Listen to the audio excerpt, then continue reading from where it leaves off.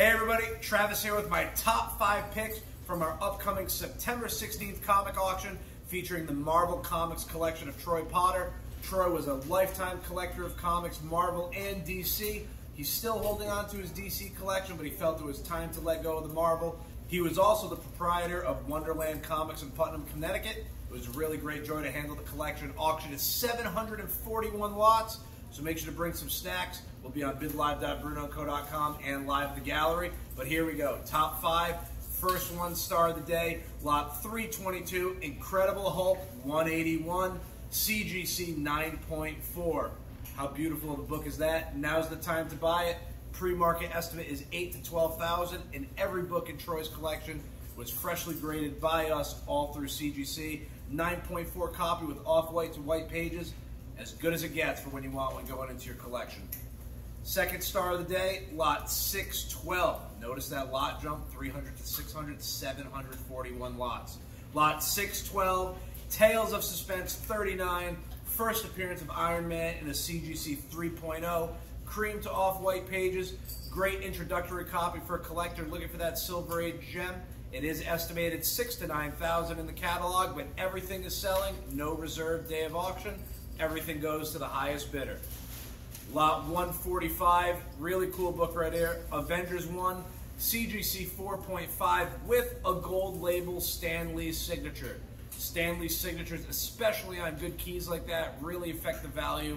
Being in a 4.5 grade, we do have it estimated 3 to 5,000, but CGC gold label verified Stan Lee, that's a really hot book to keep an eye on in the auction. Let me flip here. Lot 701. Lot 701, giant size X-Men number one, CGC 8.0 with off-white to white pages. First appearance of the new X-Men team, second full appearance Wolverine, always a Bronze Age classic. And again, buy the dip. Right now that book is only estimated two to 3000 starting bid $1,000 and go. If you were ever in the market for a giant size X-Men one, now's the time to uh, buy it compared to the market of a year, two years ago. And last but certainly not least, this is a beautiful high grade example right here. Lot 334, Iron Man 1, CGC 9.0, white pages right there. Straight up white pages, CGC 9.0. Uh, story continued from Iron Man Submariner 1, retold the origin of Submariner as, I'm not Submariner, listen to me, retold the origin of Iron Man as previously told in Tales of Suspense 39. That book is estimated 18 to 2400. But again, this is only five lots out of 741 lots crossing the block that day.